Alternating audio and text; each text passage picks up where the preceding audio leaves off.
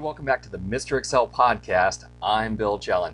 Hey, one of the tricks that accountants need to use all the time is they say that a grand total should have a double underline underneath it. Now, up in our formatting toolbar, of course, we have the underline icon, which will give us a single underline. But how do you add a double underline? Well, you need to go to the Format Cells dialog, Format Cells, and on the Font tab, there is an underline drop down where you can choose from a single underline a double underline, or single or double accounting underlines.